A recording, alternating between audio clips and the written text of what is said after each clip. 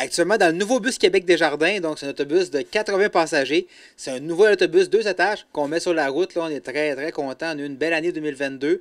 Là, on commençait à trouver que, les, surtout au, retour, là, il commençait à être un peu serré. Des fois, on voyait des, chiffres. Euh, on se disait, OK, on veut pas manquer de place. On veut pas qu'il y ait des gens debout. On veut garder un certain confort. On veut que ce soit sécuritaire. Donc, on a demandé à notre transporteur s'il y avait un autobus euh, de plus grande capacité. Puis, c'est ce qu'on a aujourd'hui, là, un autobus 80 passagers, deux étages. Donc, ça doit être surprenant pour toi. Tu arrives, la situation qu'ils te font, c'est un, deux étages. Je pensais que tu allais avoir un, autobus un peu plus grand, mais deux étages, c'est quelque chose. Bien, effectivement, on était un peu surpris. On était agréablement surpris d'ailleurs. On pensait que cet autobus-là, c'était mythique un peu. On, pensait, on, pense toujours à ceux à Londres, là, mais on pensait pas que nous, un jour, on aurait un autobus deux étages sur la côte de Beaupré. Donc, c'est vraiment une belle, euh, une belle surprise qu'on a eue. Et pour plus mobile, est-ce que vous allez quand même toucher un petit peu à la partie touristique ou ça, c'est vraiment plus, comme tu dis, c'est du, passager euh, que vous faites à tous les jours à ce moment-là? Non, nous, on reste en transport collectif et adapté. On ne fait pas de transport touristique, donc il n'y aura pas de guide à l'intérieur. Nous, on s'est mis vraiment en transport collectif adapté pour les gens de la Côte-de-Beaupré et de l'île d'Orléans qui vont se déplacer jusqu'à Québec et Sainte-Foy. Comment tu penses que les gens vont voir ça une première fois qu'ils vont embarquer euh, dans, l'autobus? Ben écoute, on l'a vu tantôt, c'est impressionnant. Sur le coup, euh, l'autobus est, est, gros. C'est impressionnant. C'est euh, la vue en haut, elle est vraiment spectaculaire. Là. Donc on a, on a vu sur Facebook, on l'a annoncé sur les réseaux sociaux. La réponse est très positive. Je pense que les gens ont hâte de l'essayer. Nous, on a hâte de les voir à bord. Donc je pense que ça va être un bel accueil pour notre nouvel autobus. Le parcours, juste pour nous rappeler, tu nous as dit que c'est le parcours qui va être pour euh, euh, Côte-de-Beaupré, Québec à ce moment-là? Exactement. Donc, nous, on a deux parcours principaux qui sont l'Express en collectif, qui sont l'Express Sainte-Foy, qui lui part de Saint-Féol-de-Neige et qui va jusqu'à Sainte-Foy, Université Laval, entre autres. Puis, on a le bus Québec Desjardins qui lui fait la même, la même route.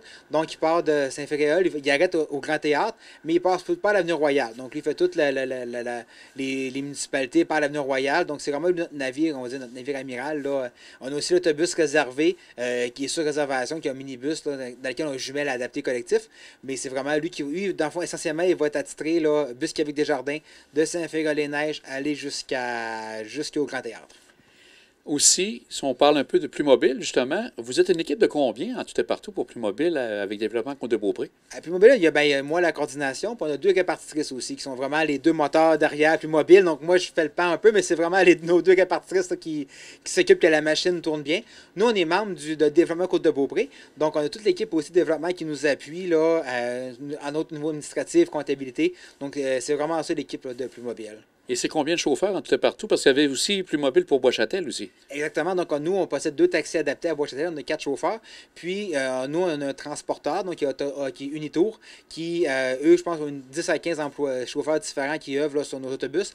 Puis, on a aussi Autobus Beaupré, qui va payer l'autobus du quai cet été, qui va être de retour là, à partir du mois de juin. Donc, encore une grosse année. Euh, est-ce que vous prévoyez encore quelque chose comme l'an passé? Parce que je pense que tu avais innové avec, euh, entre autres, avec le, festival d'été. Est-ce que c'est quelque chose que vous regardez encore pour cet été? Oui, il y a des très, très, très bonnes chances que ça se fasse de retour. On a justement un nouvel autobus. Peut-être qu'on peut faire des liens. Là. Donc, effectivement, on voit que les autobus, du, fait qu'ils vont être de retour, on va les annoncer euh, prochainement. L'achalandage a été vraiment extraordinaire pour vous. Euh, une explosion même, on pourrait dire, vis-à-vis 2021, vis-à-vis 2022. Ça représentait combien d'augmentation pour euh, le, parcours que tu parlais justement tantôt? Bien, quand on regarde en général, donc tout transport confondu, c'est 73% d'augmentation de 2021 à 2022. C'est une, belle progression. Si on parle plus spécifiquement en collectif sur la côte de Beaupré, on parle de 240% d'augmentation, donc 23 300 déplacements. Du côté de l'île d'Orléans, on a aussi un beau 15% d'augmentation en termes de collectif. L'adapté on parle de 30% aussi. Donc, c'est vraiment, c'est une belle ce qui confirme que euh, vraiment les gens ont adopté Plus Mobile euh, pour, leur, pour leur déplacement et qu'ils le maintiennent. La gratuité a été pour beaucoup. Je pense qu'on pense que c'était l'élément déclencheur qui a fait en sorte que les gens ont essayé Plus Mobile. Puis on est content parce qu'ils l'ont adopté visiblement.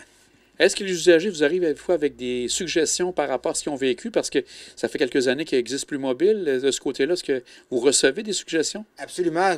Quotidiennement, on reçoit des commentaires de gens. Là, euh, on, les prend, on les prend toujours. Il y a aussi le comité consultatif qui est consulté de, qui est composé plutôt d'un élu par municipalité.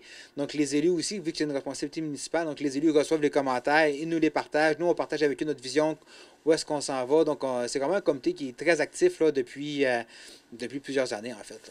Ça fait peut-être deux ans que tu es là, toi, Mathieu, en tant que grand, grand responsable de Plus Mobile.